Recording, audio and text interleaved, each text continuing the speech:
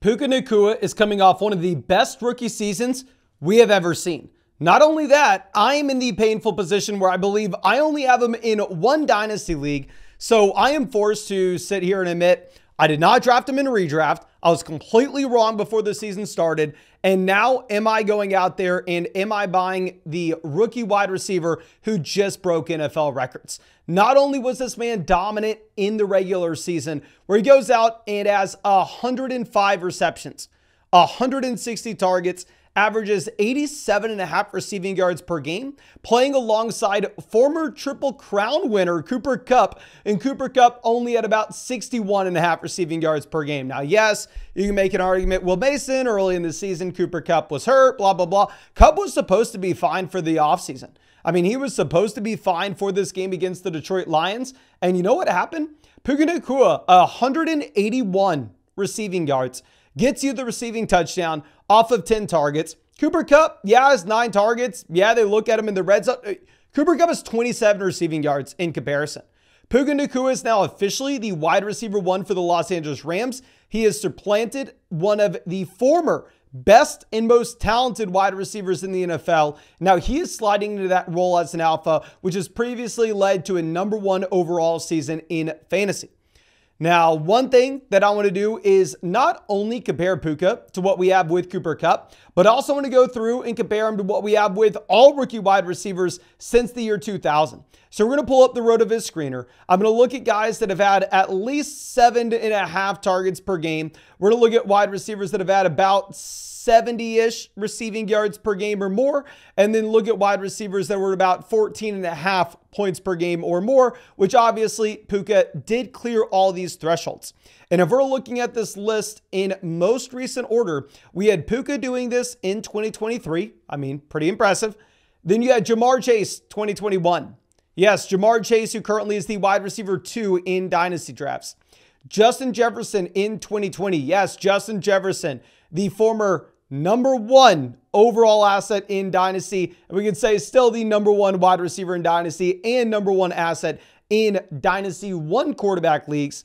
Then we have Michael Thomas in 2016. Keep in mind, Michael Thomas at one point or another was at the very top of fantasy football. We had Odell Beckham Jr., who in his own right at one point was the dynasty number one wide receiver overall. We have Mike Evans, former Hall of Famer. We have Julio Jones, former Hall of Famer. And we have AJ Green, former Hall of Famer.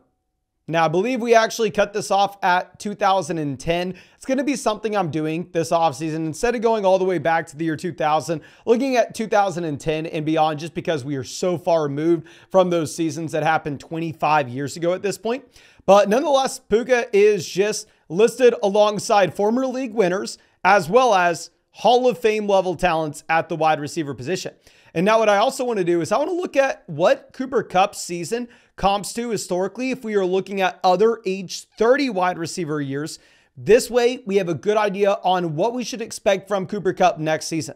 Because if Kupp comes back out and he has, say, 75 receiving yards per game, 80 receiving yards per game, and he does have a massive bounce back this next season, it's going to be hard for Puka to take that next step up to be that legitimate elite wide receiver in fantasy and not just the mid wide receiver one.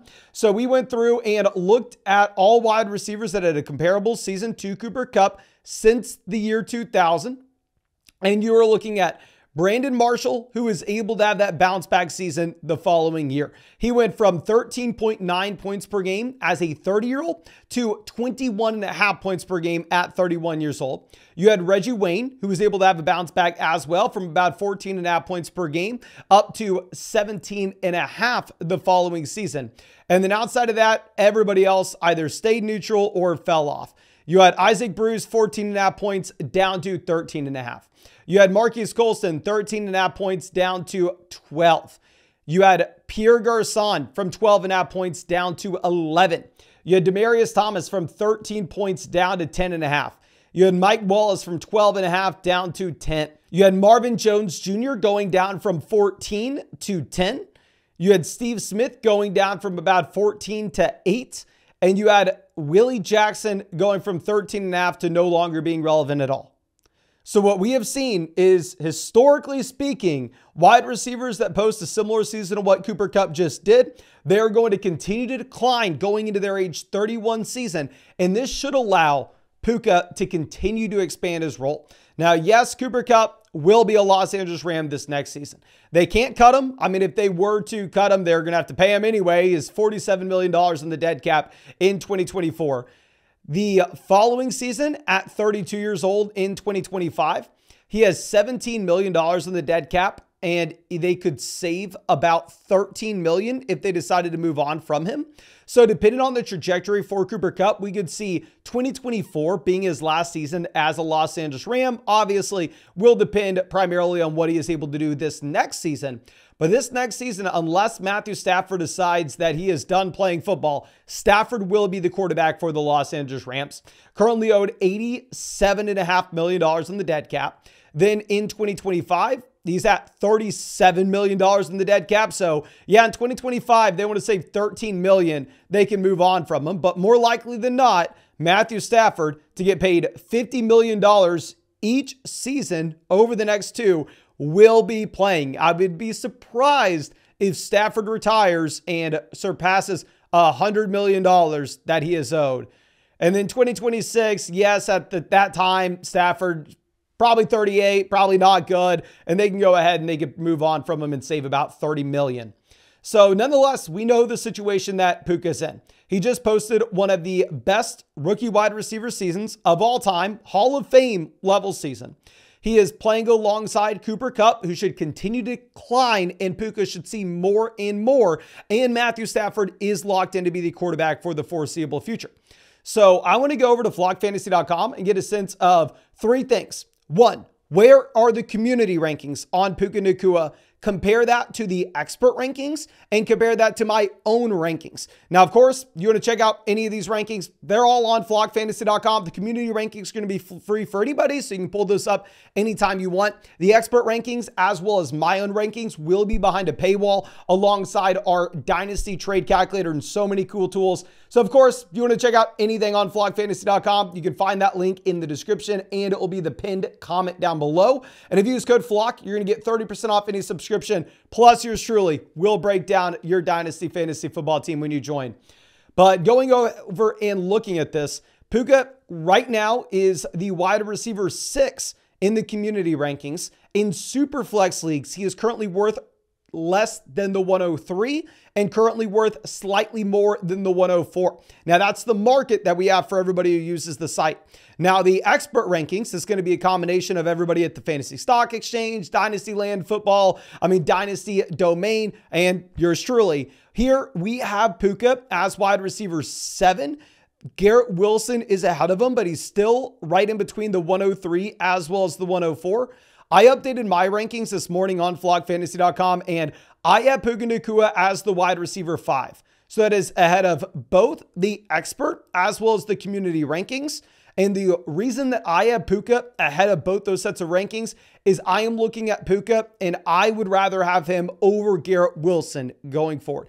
And I love Garrett Wilson. I, I mean, but it's just hard to ignore the fact that Puka as a rookie just had a better season than Wilson's had either year in his NFL career. Now, in terms of where you would compare him to rookie picks, I have them similar to the expert rankings, similar to the community rankings. It looks like everybody's in line in Superflex rookie drafts.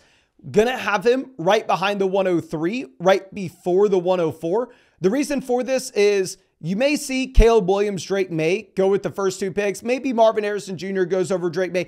Nonetheless, there's a chance that you are looking at three elite level assets in super flex leagues with those quarterbacks in this year's rookie draft. So if you're cross-referencing this, obviously you can find one quarterback rankings on the site as well. With my one quarterback rankings, with my one QB rankings, I have Puka directly behind the 101 and directly ahead of the 102. So the reason for this is I'm looking at it saying, okay, well, I would rather have Marvin Harrison Jr., probably still over Puka Nacua. But outside of that, I'd rather have Puka over anybody else in this draft class in a one quarterback league in particular. So we're going to go ahead and take Puka there. And I also want to head over to uh, the trade calculator page. Of course, you can play around with our trade calculator, but you can also go through and use it as a trade finder underneath. We're going to put Puka and see some deals that have recently been made with him. You have Josh Downs, Puka Nacua, as well as Jordan Addison being traded for two first round picks. Mark Andrews, Treylon Burks, and Quentin Johnston. So let's just remove Josh Downs, Treylon Burks, Quentin Johnston. I would rather have Jordan Addison over Mark Andrews. I'd probably rather have Puka over too late first. Now, of course, the question is if this is going to be an early round one pick, then at that point, it does get a little bit wishy washy like we said, I in a super flex league, I'm going to be taking the top three picks over Puka, but in a one quarterback format, I'm only taking the 101 ahead of him. And if you look at the trade that was made here, it's a one quarterback format. So if it's like two late first round picks in a one quarterback league, give me Puka relatively easily. Now, going over to our next deal, we're going to be looking at a two quarterback format here where you have Justin Fields, Puka, JSN, and a round one pick versus Deshaun Watson, Brandon Aiyuk, Justin Jefferson, round two. Give me Justin Jefferson relatively easily over Puka Nacua as well as Jackson Smith-Njigba. Brandon Aiyuk's worth that 2024 first round pick. Deshaun Watson in a second versus Justin Fields, probably going to be Watson. So I would prefer the Justin Jefferson side there. Going over to our next deal, we're going to be looking at Amari Cooper, Puka Nacua, TJ Hockenson, and a round one pick. For Khalil Herbert, Kyle Pitts, Tyreek Hill, a round one pick and a round four pick. The fourth round pick obviously doesn't matter at all. If we're breaking this down, I mean, Kyle Pitts versus Amari, I probably prefer Kyle Pitts at this point. Tyreek Hill versus Puka, I would rather have Puka. And then so it depends on where these first round picks end up, but I'm probably going to go with the Puka, TJ Hockenson, and Amari Cooper side. Now, our next deal, we're going to be looking at Puka, Breece Hall, a second and a third, versus Chris Olave and two first round picks. So I'm viewing Breece Hall as well as Chris Olave as comparable assets. I'd probably rather have Breece Hall, but this kind of goes back to what we were talking about previously. Puka versus the first rounder. So it's all about your price point on what you want with those rookie picks. And then our next trade, we're looking at Jalen Hurts, Puka Nacua, Davante Adams versus Brandon Aiyuk, Justin Herbert, Hollywood in two seconds. Give me Davante Adams over the second round picks. Give me Jalen Hurts over Justin Herbert. Would I rather have Puka or Brandon Aiyuk and Hollywood Brown? I'm going to take Puka there. So give me the Jalen Hurts and Puka Nacua side.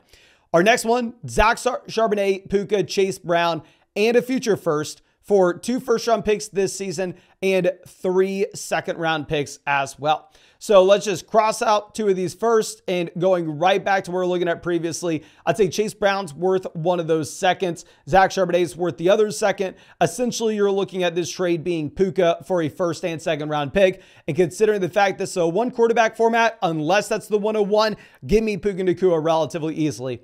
Our next deal, two quarterback format, Justin Fields, Puka, the second round picks for both 2025 and 2026 versus Saquon Barkley, Russell Wilson, Travis Kelce, and Tyreek Hill.